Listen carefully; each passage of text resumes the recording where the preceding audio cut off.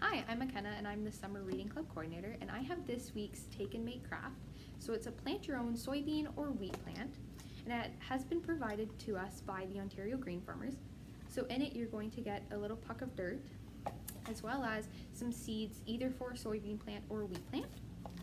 And it will come in a cup to grow it in which has the instructions down the side. In addition to that, you will also get an information packet, which also has an activity sheet and a ruler. And please remember that supplies are limited and you can begin picking these up on Saturday.